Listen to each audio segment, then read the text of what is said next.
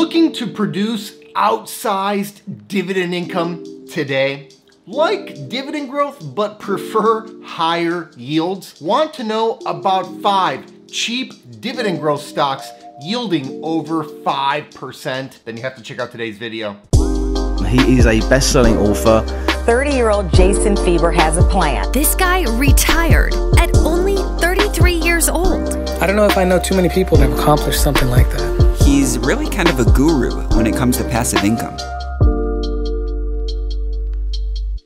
Before I get into today's content, if you want exclusive access to my personal six-figure stock portfolio and alerts on any new investments I make, check out the Patreon link in the description below. Juicy, juicy dividends. Who doesn't love getting paid for doing nothing? Well, other than waking up and holding on to the shares that you already bought, but that's pretty easy, isn't it? There are a number of dividend growth stocks out there offering big dividends. I'm talking about yields of over 5%. Plus, these dividends are growing year in and year out like clockwork. That protects your purchasing power against inflation. And if all of that weren't good enough already, some of these dividend growth stocks look downright cheap.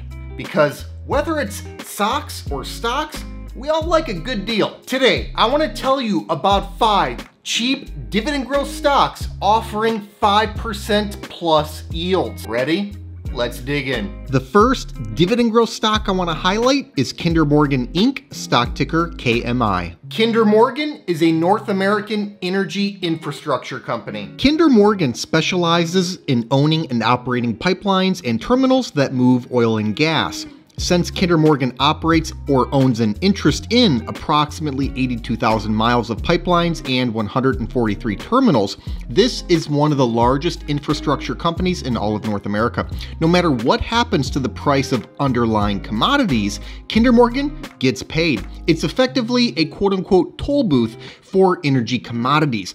Now, it won't knock your socks off with growth, but the yield is outstanding. Kinder Morgan's stock is yielding 6.3%. Wow, that's some serious income, even in a world in which rates have risen. Now, again, getting back to my prior point, you do have to sacrifice some growth in order to access that kind of yield. No free lunch, you can never have it all, and that'll be a recurring theme throughout today's video. Kinder Morgan has increased its dividend for five consecutive years, which is a track record that's shorter than it ought to be because of a 2016 dividend cut that came on the heels of a mismanaged balance sheet. The three-year dividend growth rate is 5.1%, and I think it's reasonable to expect low single-digit dividend growth per year based on forward guidance for distributable cash flow per share. The payout ratio is 52.1%. That's healthy. There is nothing demanding about the valuation here. The best way to value a pipeline business like this is to look at the multiple of cash flow. Kinder Morgan is guiding for $2.13 in DCF per share for this fiscal year, putting the forward multiple at 8.3. To be fair, that's actually pretty close to its own five year average, which is near 8. However, this stock has been in the penalty box for years, and justifiably so. But we invest in where a business is going, not where it's been. By just about every standard, this is a very low and undemanding multiple of cash flow. For income oriented dividend growth investors, a well covered 6.3% yield on a cheap name with recurring revenue is awfully interesting. The second dividend growth stock I want to bring to your attention is Altria Group Inc., stock ticker MO. Altria is one of the world's largest tobacco companies. This is a quote unquote sin stock that works for some, not for others, and that's okay. Me, I'm a fan of personal freedoms. If an adult chooses to buy and consume a legal product, more power to them, and I'm happy to profit from that. Well, profit Altria does, and they return most of that profit back to their shareholders in the form of a massive dividend. Altria's stock is yielding 8.5%. The stock can move sideways and still earn an 8.5% annual return. As long as it doesn't decline much, you've got a pretty nice floor on your return based on just the dividend alone. Again, though, you're not going to get much growth here. This is a mature business selling a product in secular decline. It's a bit of a melting ice cube in some ways, but the ice cube is huge and appears to have many more years of melting in front of it before it's in danger of disappearing. That's been true for decades already, as evidenced by Altria's 53 consecutive years of dividend increases, making it a rare dividend king. The 10 year dividend growth rate is 8.1%, although more recent dividend raises have been in the 4% range. The 74.5% payout ratio, based on fiscal year 2023 guidance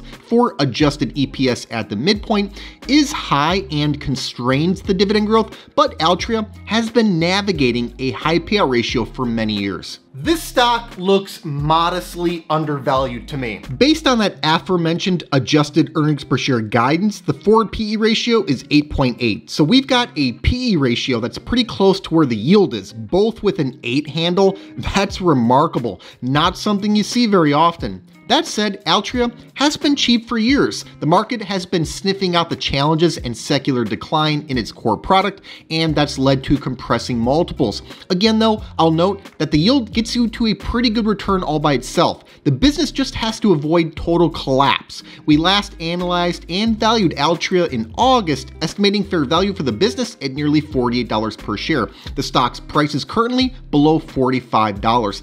Decent upside, but it's really that yield that's stands out if you're okay with the nature of the products and their secular decline, as well as the debt load, it's a compelling income play.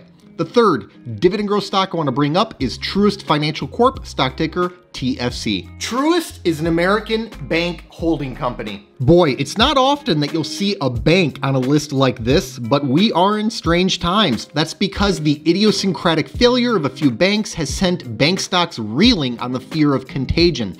But here's the thing about Truist this is one of the largest banks in the US. It's the seventh largest US commercial bank by deposits. If Truist has problems, the entire country has problems. The failure of Truist would require a kind of cataclysmic event that would have me worried about much more than a particular stock. But when others are fearful, that's typically a good time to consider being greedy. And while you wait for a rebound to play out, you're getting paid handsomely. Truist stock is yielding 6.4%. To put that in perspective, that's nearly twice as high as its own five year average yield. The stock usually offers a competitive yield, but 6.4% is highly unusual and really quite outrageous. And unlike the other names in today's list, you even get a nice growth kicker here. That's because the stock is more of an accidental high yielder. Truist has increased its dividend for 12 consecutive years with a 10 year dividend dividend growth rate of 10.2%. Even if the banking issues cause more regulation and less growth, that much of a higher starting yield can make up for a lot of it. Another factor that stands out is the payout ratio, which is 47%. You rarely get a low payout ratio with a high yield like this, but it's a pretty unique situation. Also unique is the valuation, which is shockingly low. A US bank will usually command a price to book ratio between 1 and 2, depending on the quality and growth of the bank. The five year average price to book ratio for Truist is 1.2, so it was on the low end already, but it's now at 0.8. That's the kind of depressed multiple that you only see when a bank is in crisis, which just doesn't seem to be warranted at all for Truist itself. We went over this bank not long ago and valued the firm at just about $53 per share. I see tremendous upside here on one of the largest banks in the US. Meanwhile, you're collecting a 6.4% yield. Tough to complain about any of this. The fourth dividend growth stock we have to discuss is Verizon Communications Inc., stock ticker VZ. Verizon is a multinational telecommunications conglomerate. Let's get the obvious out of the way. The US telecommunications industry is mature and saturated. If you're looking for a compounding machine, this is the last place you'd look. However, on the flip side, demand is strong. Try to take someone's smartphone away from them Ain't gonna happen. Mobile data and mobile communication is practically as necessary to people these days as water and electricity. That creates cash cows like Verizon, and what a cash cow it is. Verizon stock is yielding 6.6%. When you're getting a yield that high, the business just doesn't have to grow very much in order to provide a satisfactory annualized total return, which I viewed to be a market like 10%. You're more than 60% of the way there with just the dividend here. Indeed, Verizon isn't growing very much, which relates back to what I just mentioned. The 10 year dividend growth rate of 2.5% shows that low growth. Still, for income oriented dividend growth investors, a near 7% yield is hard to pass up. And with a payout ratio of 55.5%, based on midpoint adjusted EPS guidance for fiscal year 2023, this outsized dividend appears to be fairly safe. The business isn't growing much, true, but I think the low valuation is already factoring that in. Based on that adjusted earnings per share guidance, the forward price earnings ratio is only 8.4. Even by Verizon's low standards, that's an unusually undemanding PE ratio. For context, its own five year average PE ratio is 11.1. Every multiple here is showing a disconnect. Another good example is the price to sales ratio of 1.2, which is well off of its own five year average of 1.7. This isn't the kind of stock that'll make you wealthy tomorrow or even a year from now. It's not a perfect business, growth is muted, and there's a lot of debt. But it's a cheap cash cow that isn't dying, and that might just be good enough.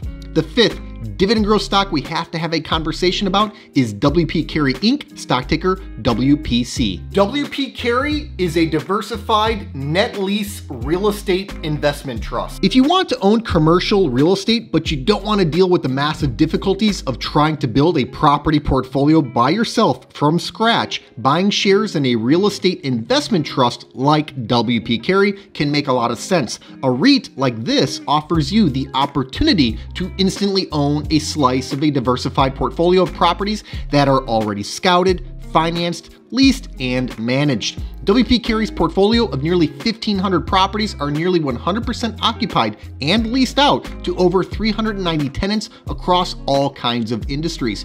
WP Carey collects that growing rent for shareholders and then sends that out via a large growing dividend. WP Carey's stock is yielding 5.7%. And this isn't some high yield junk stock either. WP Carey is a stalwart REIT. The company has increased its dividend for 26 consecutive years, and I foresee many more years of dividend growth ahead. Now, the 10 year dividend growth rate of 6.1% is undercut by recent dividend raises that have been in the low single digit range. However, because WP Carey has CPI linked rent escalators built into many of their contracts, the next year or two could spark a dividend dividend growth renaissance. Meanwhile, the payout ratio is 79.8% based on midpoint guidance for fiscal year 2023 adjusted funds from operations per share.